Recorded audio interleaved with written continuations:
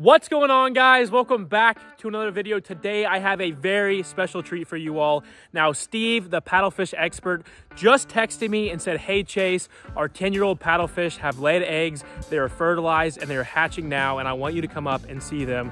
So guess what we're gonna do? I'm gonna bring you guys along. We're gonna go up there and see all the paddlefish. We're gonna see the fish hatchery. You guys are gonna get to hear from my paddlefish expert, Steve, who is probably the most knowledgeable person on this species in the entire earth which is just crazy that he is only 30 minutes away from me. With all that being said, guys, let's head up there right now and I'm gonna pick up the camera when we get to Steve's paddlefish farm. I just pulled up to the paddlefish place right now. Steve is loading up the truck because we were about to head over to Kentucky State University Aquaculture to see all these teeny tiny baby paddlefish. That is where Steve hatches these guys out from tiny eggs to these giant paddlefish that he has here at his paddlefish farm. Now let's go check on Steve and let's go see what he's doing. So I know some of you guys will recognize this place from some other videos, but right here, this is the farm. As you can see right here, we have some of the ponds with a lot of the koi and goldfish in there. I don't know if you can see them all down there. And then in here, there's about a 100 paddlefish in here. And then over here is Steve's main pond. That's 180,000 gallons. That has just been absolutely full of giant paddlefish. And then over here, guys, this is where he's gonna be setting up for his sturgeon that are coming next week. He's getting a bunch of sturgeon eggs in next week, and they'll all be going in these tubs right here, and then eventually will be sold. Today is gonna be an absolute dream of mine. Some kids growing up, they wanted to be in the NBA, they wanted to play in the NFL, they wanted to be doctors, nurses. Well, I wanted to be a fish hatchery employee. That's what I wanted to do. So today I'm gonna fulfill my dream, going to the hatchery, seeing all the cool stuff they do there, as well as see all the fish. I just can't wait to see their setups, guys, and I cannot wait to bring you guys along. Let's head there right now. All right, guys, so right now we're in the hatchery section of the warehouse. I don't know if y'all can hear me. I'm trying to talk really loudly, but as you guys can see, there are a ton of tanks behind me. We got bass in here, all kinds of native fish, as well as the baby paddlefish that are back there in the special room with Steve right now. But I want to show you all how massive this place is. There's a ton of tanks in here, and then this is just the start. This is just the inside of the hatchery for the university. And then out here, through this door, as you all can see, they got a bunch of ponds, as well as out this window right here, they have a bunch of ponds as well, where they raise up all their fish. I just cannot wait to show you guys more of this place. This is so cool. This is too cool, guys. Right now, I'm up in the attic of the hatchery. This is where Steve has worked at for over 30 years. And I love being hands-on, so I'm getting the nets for him to get these paddlefish loaded up to take back to his place. This is so cool being able to see the overview of the hatchery and all the baby paddlefish are right there, which I'm about to show you in just a minute. All right, here they are, guys. These are the baby fingerling paddlefish right here. This is the largest growing fish in North America. These guys are about two weeks old right now. You can see some of the eggs too right here that haven't even hatched out yet. But in here, there's gotta be at least 10,000 of these little guys. Just a swarm. I mean, you can't even see to the bottom. These tubes are huge, and in every single container right here, there's just thousands and thousands of these guys. But as they get bigger, they will start to develop that spoon and have a more paddlefish-like look. But right now, guys, these are just fresh out of the egg, and so they're just trying to survive. It's pretty crazy to think that one day this fish right here will get over 150 pounds. So we're gonna be weighing these uh, paddlefish, fry, put it on the thing and zero it. Okay.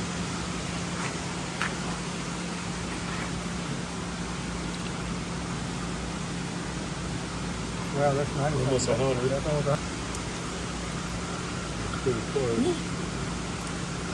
And you said, Steve, 200 is about 10,000? Yeah, it's about 50 uh, fish per gram. It's a lot of paddlefish.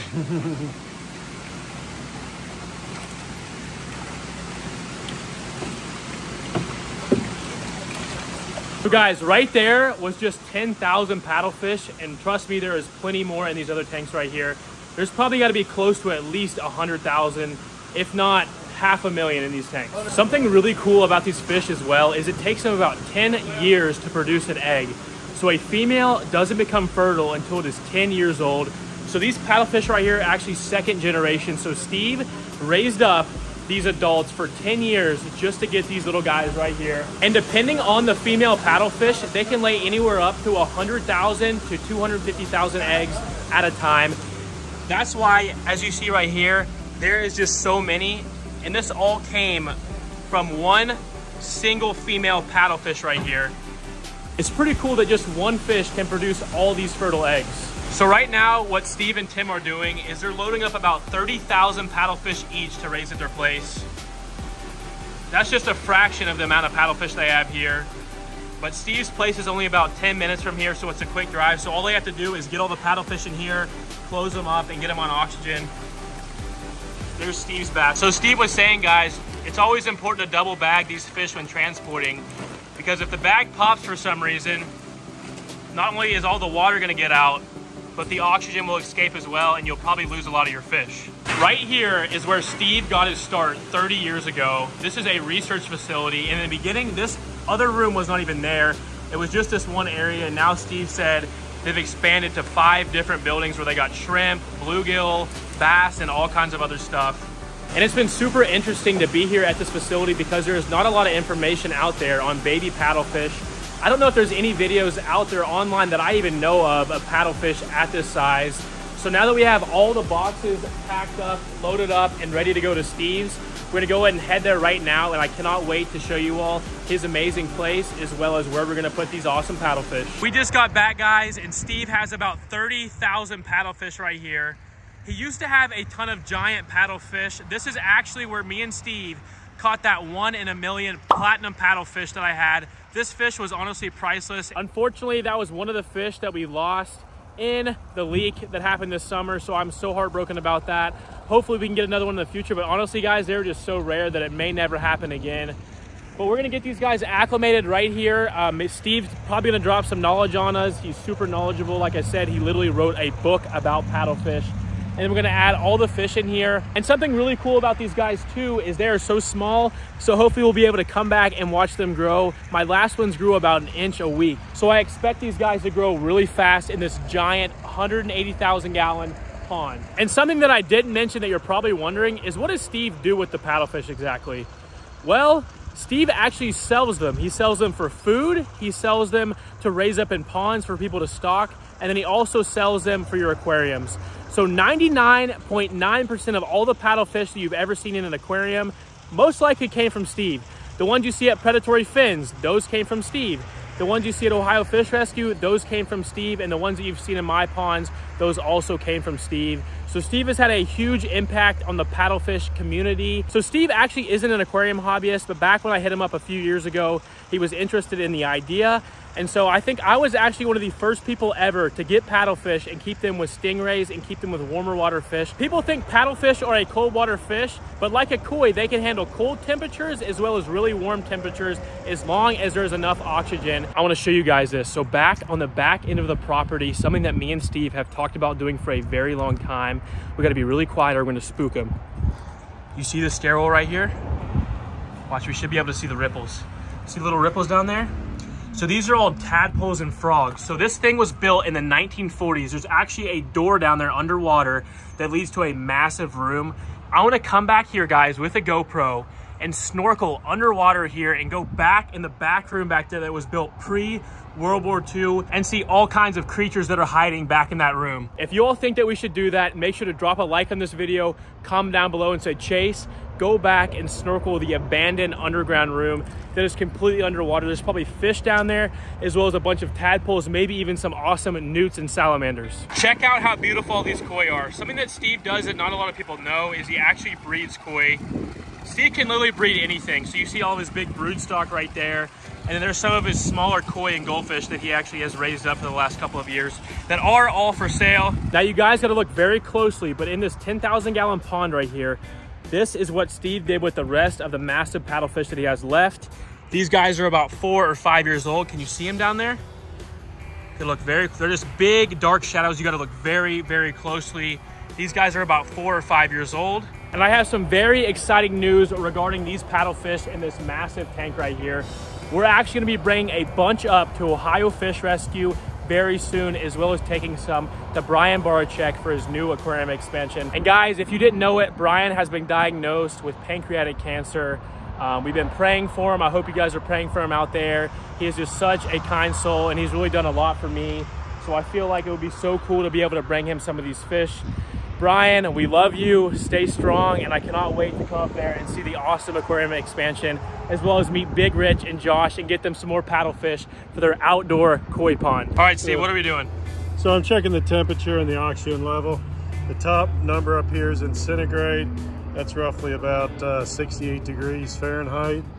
And then the oxygen level is 26, which is super saturated. It's like 300% saturated. So extremely high oxygen, which is fine for the fish. So what we're getting ready to do is push, put the fish into the tank. You want to make sure you're in a shaded area. They can go into shock if you have them in the sun. As Steve was saying earlier, guys, that when these babies touch light for the first time, they can actually become paralyzed and all fall to the bottom and don't swim around anymore, which is super bad for the fish, obviously. We're kind of waiting for some cloud cover right now. As you can see, we got a nice shaded area and Steve's about to add some of these guys in there. And then eventually this pond will be filled with massive paddlefish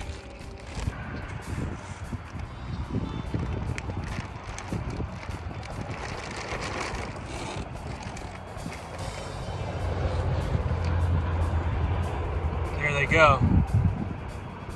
You can see them all swimming away right there. Trying not to drop my phone. they look good and healthy, taking off. You can see them, they just look like little, little tiny microorganisms right now. And how fast will these guys grow, Steve? They usually grow about uh, three quarters of an inch a week. So right now they're three quarters of an inch. They should be about an inch and a half uh, by the end of next week, and then two and a half, and then three and a half, and so it goes on like that. Um, Within not too long, guys, you'll start to be able to see these paddlefish in here. Right now, they're just too small. But as you all saw in some of our previous videos, they get very, very big really fast. Well, all right, guys, that is paddlefish stocking 101 with the world's most knowledgeable paddlefish expert in the entire world, Steve he's been like a mentor to me and I'm super grateful for him. Without him, guys, a lot of these paddlefish wouldn't even be in the aquarium hobby and you wouldn't even see them in people's ponds. They are such an amazing prehistoric fish and really hard to get your hands on. It was so cool that I got the opportunity to see these little tiny baby fish and bring you guys along. I hope you all enjoyed that. Cannot wait to come back here and show you all the growth rate on these fish. There might even be a platinum in there. We won't know yet until they get about eight to 10 inches. If y'all wanna buy these fish, make sure to hit up Rodrigo at Predatory Fins. I'm gonna have him link below. These are the same paddlefish that you're seeing here from this farm. They're amazing, but they need really, really, really big ponds or a giant aquarium display. So just make sure to keep that in mind. With all that being said, guys, I will see you all in the next video. Peace.